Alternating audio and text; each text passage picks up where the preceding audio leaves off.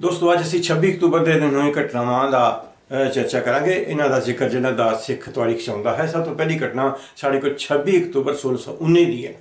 26 October 1619 ਦੇ ਦਿਨ ਗੁਰੂ ਹਰਗੋਬਿੰਦ ਸਾਹਿਬ ਗਵਾਲੀਅਰ ਦੇ ਕਿਲੇ ਵਿੱਚੋਂ ਰਿਹਾ ਕੀਤੇ ਗਏ ਸਨ। ਚੇਤੇ ਰਹੇ ਕਿ ਜਨਵਰੀ 1613 ਚ ਜਹਾਂਗੀਰ ਨੇ ਗੁਰੂ ਸਾਹਿਬ ਨੂੰ ਸਮਨ ਕੀਤਾ ਸੀ ਕਿ ਗੁਰੂ ਸਾਹਿਬ ਨੇ ਕਿਲਾ ਬਣਾਇਆ ਫੌਜ ਬਣਾਈ ਹੋਈ ਹੈ ਤੇ ਇਸ ਤਰ੍ਹਾਂ ਜਿਹੜੀਆਂ ਰਿਪੋਰਟਾਂ ਉਹਨਾਂ ਕੋਲ ਪਹੁੰਚਦੀਆਂ, ਉਹਦੇ ਕੋਲ ਪਹੁੰਚਦੀਆਂ ਸਨ ਤੇ ਉਹਨਾਂ ਨੇ ਉਸਨੇ ਗੁਰੂ ਸਾਹਿਬ ਨੂੰ ਇਸ ਵਾਸਤੇ ਸਫ਼ਾਈ ਪੇਸ਼ ਕਰਨ ਲਈ ਜਾਂ ਜਵਾਬ ਦਰ- ਤਲਬੀ ਵਾਸਤੇ ਤਲਬ ਕੀਤਾ। ਇਹ ਗੱਲ ਜਨਵਰੀ 1613 ਦੀ ਹੈ। ਵੈਸੇ 31 ਦਸੰਬਰ 1600 12 ਦੇ ਦਿਨ ਗੁਰੂ ਸਾਹਿਬ ਜਿਹੜੇ ਨੇ ਅੰਮ੍ਰਿਤਸਰ ਤੋਂ ਕੋੜੇ ਤੇ ਸਵਾਰ ਹੋ ਕੇ ਤੁਰੇ ਨੇ ਤੇ ਜਨਵਰੀ ਚ ਉਹ ਦਿੱਲੀ ਪਹੁੰਚ ਗਏ ਨੇ ਤੇ ਪਿੰਡ ਚੰਦਰਾਵਲ ਖੇੜਾ ਚੰਦਰਾਵਲ ਖੇੜਾ ਉਹ ਥਾਂ ਜਿੱਥੇ ਗੁਰਦੁਆਰਾ ਮਜਨੂ ਟਿੱਲਾ ਹੈ ਇਸ ਵੇਲੇ। ਤੋਂ ਪਿੰਡ ਚੰਦਰਾਵਲ ਖੇੜਾ ਵਿੱਚ ਠਹਿਰੇ ਨੇ ਉੱਥੇ ਸਿੱਖ ਸਨ ਗੁਰੂ ਸਾਹਿਬ ਦੇ, ਗੁਰੂ ਨਾਨਕ ਸਾਹਿਬ ਦੇ ਵੇਲੇ ਤੋਂ ਸਿੱਖ ਸਨ ਕਿਉਂਕਿ ਮਜਨੂ ਟਿੱਲਾ ਗੁਰੂ ਨਾਨਕ ਸਾਹਿਬ ਦੀ ਯਾਦ ਵਿੱਚ ਹੀ ਬਣਿਆ ਹੈ ਤੇ ਉੱਥੇ ਸਿੱਖ ਰਹਿੰਦੇ ਸਨ। ਤੇ ਉੱਥੇ ਹੀ ਰਾਮ ਰਾਏ ਵੀ ਰਿਹਾ ਸੀ ਜਦੋਂ ਜਦੋਂ ਉਸ ਨੂੰ ਤਲਬ ਕੀਤਾ ਗਿਆ ਸੀਗਾ 1661 ਵਿੱਚ। ਇਸੇ ਤਰ੍ਹਾਂ ਹੁਣ 1613 ਵਿੱਚ ਅਹ, ਜਨਵਰੀ ਚ ਗੁਰੂ ਹਰਗੋਬਿੰਦ ਸਾਹਿਬ ਜਿਹੜੇ ਨੇ ਉਹ ਉੱਥੇ ਚੰਦਰਾਵਲ ਖੇੜਾ ਜਾ ਕੇ ਠਹਿਰੇ ਨੇ। ਤੋਂ ਜਦੋਂ ਜਹਾਂਗੀਰ ਨੂੰ ਉਹਨਾਂ ਦੇ ਆਉਣ ਦਾ ਪਤਾ ਲੱਗਾ ਤਾਂ ਉਹਨੇ ਆਪ ਦੀ ਗ੍ਰਿਫਤਾਰੀ ਦਾ ਹੁਕਮ ਜਾਰੀ ਕਰ ਦਿੱਤਾ ਤੇ ਨਾਲ ਹੀ ਗੁਰੂ ਸਾਹਿਬ ਨੂੰ 12 ਸਾਲ ਵਾਸਤੇ ਗਵਾਲੀਅਰ ਦੇ ਕਿਲੇ ਵਿੱਚ ਕੈਦ ਕਰ ਦਿੱਤਾ। ਤੋ ਗਵਾਲੀਅਰ ਦੇ ਕਿਲੇ ਚ ਗੁਰੂ ਹਰਗੋਬਿੰਦ ਸਾਹਿਬ ਤੋਂ ਇਲਾਵਾ 101 ਹੋਰ ਕੈਦੀ ਵੀ ਸਨ ਜਿਨ੍ਹਾਂ ਚੋਂ ਬਹੁਤੇ ਜਿਹੜੇ ਸਨ ਜਾਂ ਰਾਜੇ ਮਹਾਰਾਜੇ ਸਨ ਜਾਂ ਉਹਨਾਂ ਦੇ ਬੱਚੇ ਸਨ ਤੇ ਜਾਂ ਜਿਹੜੇ ਸਨ ਬਹੁਤ ਵੱਡੀਆਂ ਅਹਿਮ ਧਾਰਮਿਕ ਜਾਂ ਹੋਰ ਸ਼ਖਸੀਅਤਾਂ ਸਨ। ਇਹਨਾਂ ਵਿੱਚ ਅਮੀਰ ਵਜ਼ੀਰ ਵੀ ਸਨ।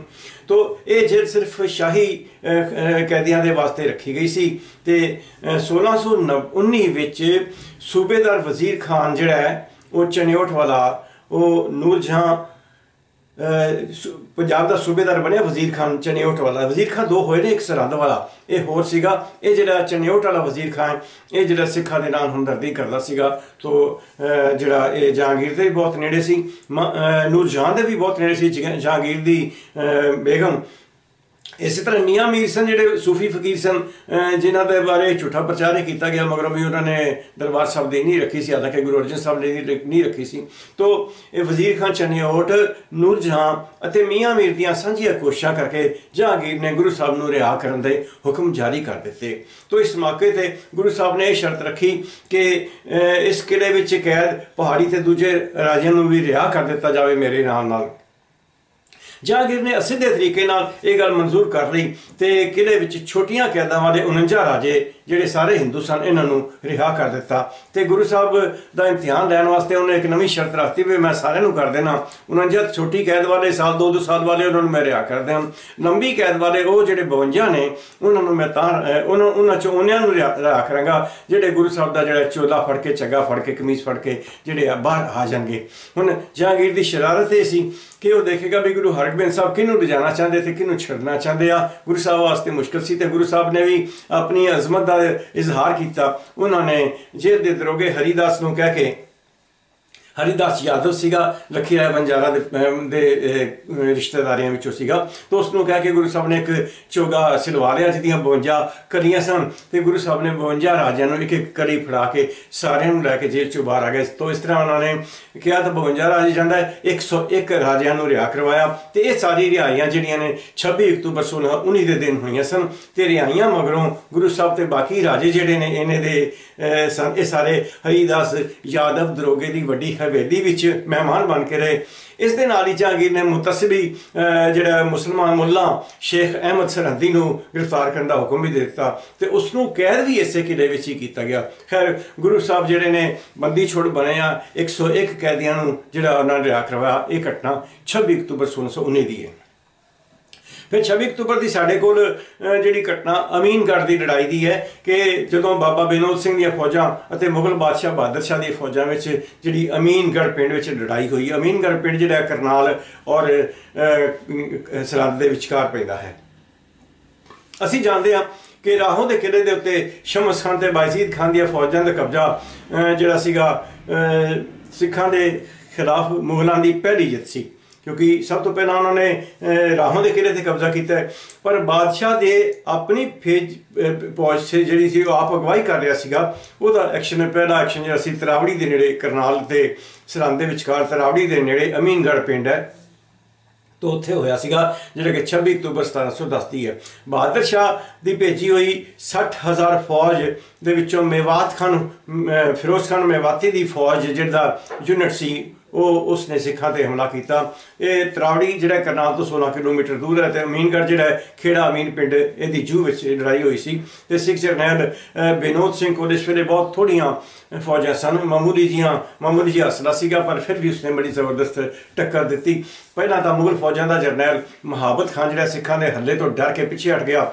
ਪਰ ਫਿਰ ਫਿਰੋਜ਼ ਖਾਨ ਮੇਵਾਤੀ ਗੁੱਸਾ ਖਾ ਕੇ ਆਪ ਅੱਗੇ ਵਧਿਆ ਤੇ ਸਾਰੀਆਂ ਫੌਜਾਂ ਨੂੰ ਇੱਕਦਮ ਹਮਲਾ ਕਰਨ ਵਾਸਤੇ ਕਿਹਾ। ਇਸ ਮਗਰੋਂ ਕਮਸਾਨ ਦੀ ਜੰਗ ਹੋਈ, ਪਰ 2-4 ਹਜ਼ਾਰ ਸਿੱਖ ਫੌਜੀ 60000 ਮੁਗਲ ਫੌਜਾਂ ਅੱਗੇ ਬਹੁਤੀ ਦੇਰ ਟਿਕ ਨਾ ਸਕੇ।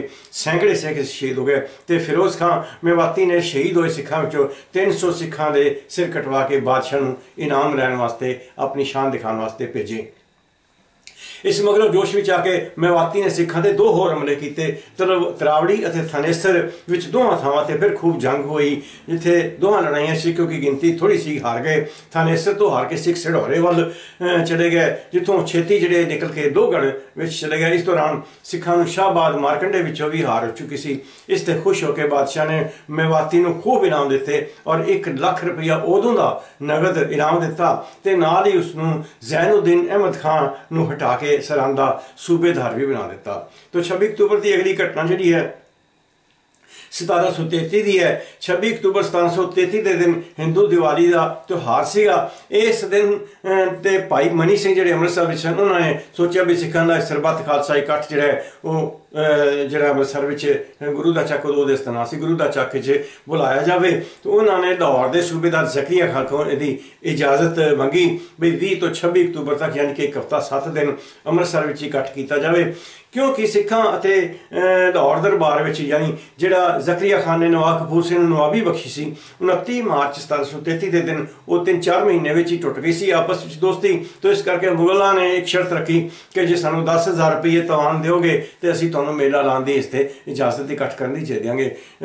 ਇੱਕ ਚਰਚਾ, ਇੱਕ ਰਵਾਇਤ ਇਹਨੂੰ 5000 ਰਕਮ ਵੀ ਕਹਿੰਦੀ ਹੈ। ਤੋ, ਸੋ ਇਸ ਟੈਕਸ ਲੈ ਕੇ ਉਹਨਾਂ ਨੇ ਸਮਾਗਮ ਕਰਨ ਦੀ ਇਜਾਜ਼ਤ ਦਿੱਤੀ। ਦੂਜੇ ਪਾਸੇ ਉਹਨਾਂ ਨੇ ਇਹ ਅਫਵਾਹ ਵੀ ਫੈਲਾ ਦਿੱਤੀ ਕਿ ਇਸ ਮੌਕੇ ਤੇ ਅੰਮ੍ਰਿਤਸਰ ਆਉਣ ਵਾਲੇ ਸਿੱਖਾਂ ਨੂੰ ਮੁਗਲ ਫੌਜਾਂ ਘੇਰੇ ਵਿੱਚ ਲੈ ਕੇ ਖਤਮ ਕਰ ਦੇਣਗੀਆਂ। ਦਰਅਸਲ ਜ਼ਕਰੀ ਖਾਨ ਨੇ ਆਪਣੇ ਵਜ਼ੀਰ ਲਖਪਤ ਰਾਏ, ਜਿਹਨੂੰ ਲਖੂ ਵੀ ਕਹਿੰਦੇ ਹਨ, ਇਸ ਦੇ ਬਾਰੇ ਹੁਕਮ ਵੀ ਦੇ ਰੱਖੇ ਸਨ। ਲਖਪਤ ਰਾਏ ਨੇ ਰਾਮ ਤੀਰਥ ਵਾਲੀ ਥਾਂ ਤੇ ਆਪਣੀ ਫੌਜ ਜਮ੍ਹਾਂ ਕਰਦੇ ਸੀ।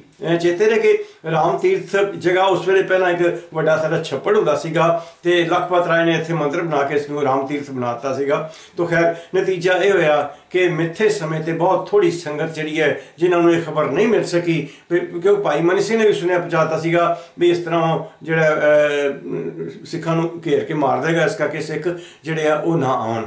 ਤੋਂ ਇਸ ਕਰਕੇ ਪਰ ਫਿਰ ਵੀ ਕੋਈ ਥੋੜੇ ਜਿਹੇ ਸਿੱਖ ਜਿਹੜੇ ਸਨ, ਉਹ ਆਏ, ਇਸ ਕਰਕੇ ਚੜਾਵਾ ਬਹੁਤ ਘੱਟ ਹੋਇਆ ਤੇ ਭਾਈ ਮਨੀ ਸਿੰਘ ਜਿਹੜੇ ਆ, ਉਹ 10000 ਜਿਹੜਾ ਰੁਪਈਆ ਨਾ ਦੇ ਸਕੇ। ਤੇ ਜਦ ਮੁਗਲ ਅਹਲਕਾਰਾਂ ਨੇ ਉਹਨਾਂ ਕੋਲ ਰਕਮ ਮੰਗੀ, ਤਾਂ ਉਹਨਾਂ ਨੇ ਚੜਾਵੇ ਦਾ ਘੱਟ ਹੋਣ ਕਰਕੇ ਵਿਸਾਖੀ 1734 ਤੱਕ ਇਹ ਰਕਮ ਦੇਣ ਦੀ ਮੋਹਲਤ ਮੰਗ ਲਈ ਵੀ ਮੈਂ ਵਿਸਾਖੀ ਤੇ ਇਕੱਠ ਕਰਕੇ ਤੇ ਤੁਹਾਨੂੰ ਦੇ ਦਿਆਂਗਾ। ਸਾਡੇ ਕੋਲ ਇਸ ਤੋਂ ਬਾਅਦ 26 ਅਕਤੂਬਰ ਦੀਆਂ ਨਕਲੀ ਮੁਕਾਬਲੇ ਦੀਆਂ ਘਟਨਾਵਾਂ ਸਭ ਤੋਂ ਪਹਿਲੀ 1987 ਦੀ ਹੈ। 26 ਅਕਤੂਬਰ 1987 ਦੇ ਦਿਨ ਪੁਲਿਸ ਨੇ ਬੂਟਾ ਸਿੰਘ, ਪੁੱਤਰ ਜਗੀਰ ਸਿੰਘ ਵਾਸੀ ਦੁਗਰੀ ਅੰਮ੍ਰਿਤਸਰ ਨੂੰ ਇੱਕ ਨਕਲੀ ਮੁਕਾਬਲੇ ਸ਼ਹੀਦ ਕਰ ਦਿੱਤਾ। 1999 ਦੀ ਵੀ ਖਬਰ ਵਿੱਚ 26 ਅਕਤੂਬਰ 1999 ਦੇ ਦਿਨ ਪੁਲਿਸ ਨੇ ਸੁਖਦੇਵ ਸਿੰਘ ਸੁੱਖਾ, ਪੁੱਤਰ ਪਿਆਰਾ ਸਿੰਘ ਵਾਸੀ ਤਰਸਿੱਕਾ, ਅੰਮ੍ਰਿਤਸਰ, ਗੁਰਜੀਤ ਸਿੰਘ ਉਰਫ ਬਾਬਾ ਬੰਤਾ ਪੁੱਤਰ ਕੁੰਦਰ ਸਿੰਘ ਵਾਸੀ ਦਸ਼ਰੀ ਨੰਗਲ ਨੂੰ ਇੱਕ ਨਕਲੀ ਮੁਕਾਬਲੇ ਸ਼ਹੀਦ ਕਰ ਦਿੱਤਾ। ਇਸੇ ਦਿਨ ਪੁਲਿਸ ਨੇ ਗੁਰਦਾਸ ਸਿੰਘ ਸੰਤ ਵਾਸੀ ਦਾਨੋਵਾਲ ਦਾਨੇਵਾਲ ਜ਼ਿਲ੍ਹਾ ਬਠਿੰਡਾ ਨੂੰ ਵੀ ਨਕਲੀ ਮੁਕਾਬਲੇ ਸ਼ਹੀਦ ਕੀਤਾ। 1990 ਦੀ ਵੀ ਘਟਨਾ ਹੈ ਕਿ 26 ਅਕਤੂਬਰ 1990 ਦੇ ਦਿਨ ਪੁਲਿਸ ਨੇ ਗਰਦਾਨ ਸਿੰਘ, ਪੁੱਤਰ ਚੈਨ ਸਿੰਘ ਵਾਸੀ ਮਾੜੀ ਬੁੱਚੀਆਂ, ਦਲਜੀਤ ਸਿੰਘ ਵਾਸੀ ਚਾਂ ਹੁਸ਼ਿਆਰਪੁਰ ਅਤੇ ਨਿਰਮਲ ਸਿੰਘ ਵਾਸੀ ਝੰਡੇ ਅੰਮ੍ਰਿਤਸਰ ਨੂੰ ਨਕਲੀ ਮੁਕਾਬਲੇ ਸ਼ਹੀਦ ਕੀਤਾ। 1991 ਦੀ ਵੀ ਘਟਨਾ ਹੈ 26 ਅਕਤੂਬਰ 1991 ਦੇ ਦਿਨ ਪੁਲਿਸ ਨੇ ਜਸਵਿੰਦਰ ਸਿੰਘ, ਪੁੱਤਰ ਸ਼ਿਵ ਸਿੰਘ ਵਾਸੀ ਭੁੱਲਵਾਲ ਜ਼ਿਲ੍ਹਾ ਰੋਪੜ ਨੂੰ ਇੱਕ ਨਕਲੀ ਮੁਕਾਬਲੇ ਸ਼ਹੀਦ ਕੀਤਾ। 2003 ਦੀ ਘਟਨਾ ਹੈ ਕਿ ਮੋਹਾਲੀ ਵਿੱਚ ਸਿੱਖ ਪ੍ਰਚਾਰਕਾਂ ਵਿਦਵਾਨਾਂ ਤੇ ਪਥਦਰਦੀਆਂ ਦੀ ਕਨਵੈਨਸ਼ਨ ਹੋਈ। ਸੱਚ ਅਸਲ ਗੁਰਬਖਸ਼ ਸਿੰਘ ਕਾਲਾ ਅਫਗਾਨਾਂ ਨੂੰ ਨਾਜਾਇਜ਼ ਤੌਰ ਤੇ ਪੰਚੋ ਅਖੌਤੀ ਤੌਰ ਤੇ ਖਾਰਿਜ ਕਰਨ ਵੇਲੇ ਕਿਰਪਾਲ ਸਿੰਘ ਬਡੂੰਗਰ ਜਿਹੜਾ ਸ਼੍ਰੋਮਣੀ ਕਮੇਟੀ ਦਾ ਪ੍ਰਧਾਨ ਸੀ ਕੁਝ ਦਿਨ ਵਾਸਤੇ ਅਲਵਿੰਦਰਪਾਲ ਸਿੰਘ ਅੱਖੋ ਕੇ ਪੱਖੋ ਕੇ ਪ੍ਰਧਾਨ ਰਿਹਾ ਐਕਟਿੰਗ ਪ੍ਰਧਾਨ ਰਿਹਾ। 25 ਜੁਲਾਈ ਅਹ, 2003 ਦੇ ਦਿਨ ਗੁਰਚਰਨ ਸਿੰਘ ਟੋੜਾ ਮੁੜ ਪ੍ਰਧਾਨ ਬਣ ਗਿਆ। ਤੋਂ ਇਹਨੇ ਦਿਨੀ ਕਾਲਾ ਅਫਗਾਨਾਂ ਨਾਲ ਹਮਦਰਦੀ ਰੱਖਣ ਵਾਲੇ ਜਿਹੜੇ ਸਨ ਉਹ ਅਕਾਲ ਤਖਤ ਦੀ ਦੁਰਮਰ- ਦੁਰਵਰਤੋਂ ਦੇ ਮਾਮਲੇ ਤੇ ਸਰਬੱਤ ਖਾਲਸਾ ਇਕੱਠ ਬੁ- ਬੁਲਾਉਣਾ ਚਾਹੁੰਦੇ ਸਨ, ਪਰ ਬਾਅਦ ਚ ਇਹਨਾਂ ਨੇ ਕਨਵੈਨਸ਼ਨ ਦਾ ਨਾਮ ਦਿੱਤਾ।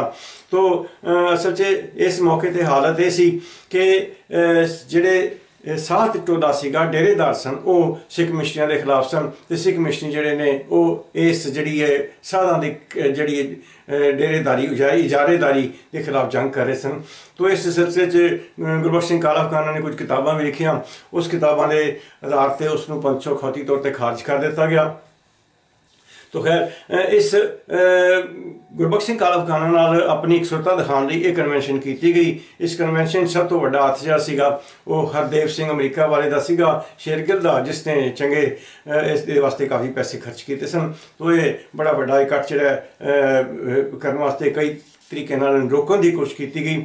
ਸਿਰਫ ਅਕਾਲੀਆਂ ਵਿੱਚੋਂ ਇੱਕ ਜਗਦੇਵ ਸਿੰਘ ਤਲਵੰਡੀ ਨੂੰ ਛੱਡ ਕੇ ਕਿਸੇ ਨੇ ਵੀ ਇਹਦੀ ਹਮਾਇਤ ਨਾ ਕੀਤੀ। ਤੋਂ 26 ਅਕਤੂਬਰ ਨੂੰ ਕਨਵੈਨਸ਼ਨ ਹੋ ਸੀ ਤੇ 24 ਤਰੀਕ ਤੱਕ ਹਾਲਤੇ ਬਣ ਗਏ ਸਨ ਕਿ ਕਨਵੈਨਸ਼ਨ ਕਰਨ ਵਾਸਤੇ ਜਿਹੜੇ ਆ, ਉਹਨਾਂ ਕੋਲ ਕੋਈ ਥਾਂ ਨਹੀਂ ਸੀ। ਪਹਿਲਾਂ ਉਹਨਾਂ ਨੇ ਦਾਰਾ ਸਟੂਡੀਓ ਲਿਆ ਸੀਗਾ। ਦਾਰਾ ਸਟੂਡੀਓ ਨੇ ਨੂੰ ਵੀ ਬਾਦਲ ਤੇ ਸ਼੍ਰੋਮਣੀ ਕਮੇਟੀ ਦੇ ਅਸਰ ਹੇਠਾਂ ਉਸਨੇ ਇਹ ਕੈਨਸਲ ਕਰਤਾ। ਫਿਰ ਪ੍ਰਿੰਸੀਪਲ ਬੇਦੀ ਦਾ ਸ਼ਿਵਾਲਿਕ ਪਬਲਿਕ ਸਕੂਲ ਸੀ। ਉਸਨੇ ਵੀ ਡਰ ਕੇ ਤੇ ਜਿਹੜਾ ਇਹ ਦਿਨ ਤੋਂ ਨਾ ਕਰ ਦਿੱਤੀ। ਜਸਬੀਰ ਸਿੰਘ ਖੰਨਾ ਸੁਹਾਣੇ ਵਾਲਾ ਸਾਥ ਜਿਹੜਾ ਉਸਨੇ ਵੀ ਪਹਿਲਾਂ ਹਾਂ, ਕੀਤੀ ਸੀ। ਫਿਰ ਉਹ ਵੀ ਮੁਕਰ ਗਿਆ ਤੇ ਆਪ ਵੀ ਕੁਝ ਦਿਨਾਂ ਵਾਸਤੇ ਗਾਇਬ ਹੋ ਗਿਆ ਤਾਂ ਜੋ ਉਸ ਨੂੰ ਕੋਈ ਕੰਟੈਕਟ ਨਾ ਕਰ ਸਕੇ। ਅਖੀਰ ਹਾਈ ਕੋਰਟ ਦੇ ਹੁਕਮਾਂ ਦੇ ਨਾਲ ਕੁਝ ਪਹਿਲਾਂ, ਕੁਝ ਘੰਟੇ ਪਹਿਲਾਂ ਹੀ ਕਾਨੂੰਨੀ ਇਜਾਜ਼ਤ ਲੈ ਕੇ ਇਸ ਨੂੰ ਮੋਹਾਲੀ ਦੇ ਇੱਕ ਕਮਿਊਨਿਟੀ ਹਾਲ ਵਿੱਚ ਕੀਤਾ ਗਿਆ। ਇਸ ਦੇ ਵਿੱਚ ਸਿੱਖ ਮਿਸ਼ਨਰੀ, ਵਿਦਵਾਨ ਤੇ ਪ੍ਰਚਾਰਕ ਤੇ ਲੇਖਕ ਸ਼ਾਮਿਲ ਹੋਏ ਬਹੁਤ ਸਾਰੇ। ਇੰਨੀਆਂ ਪਾਬੰਦੀਆਂ, ਧਮਕੀਆਂ ਤੇ ਰੁਕਾਵਟਾਂ ਦੇ ਬਾਵਜੂਦ ਇੰਨੀ ਗਿਣਤੀ ਜਿਹੜੀ ਹੈ, ਉਹ ਬੇਹੱਦ ਹੈਰਾਨੀ ਵਾਲੀ ਗੱਲ ਸੀ। ਇਹ ਜੋਗਿੰਦਰ ਸਿੰਘ ਵਿਦਾਤੀ ਸ਼੍ਰੋਮਣੀ ਕਮੇਟੀ ਬਾਦਲ ਅਕਾਲੀ ਦਲ ਤੇ ਗੁਰਚਰਨ ਸਿੰਘ ਟੋੜਾ ਦੀ ਜ਼ਬਰਦਸਤ ਹਾਰ ਸੀ। ਇਹ ਸੰਘਟਨਾਵਾਂ ਜਿਹੜੀਆਂ 26 ਅਕਤੂਬਰ ਨੂੰ ਹੋਈਆਂ ਤੇ ਮੈਂ ਤੁਹਾਡੇ ਨਾਲ ਚਰਚਾ ਕੀਤਾ ਹੈ। ਸ਼ੁਕਰੀਆ।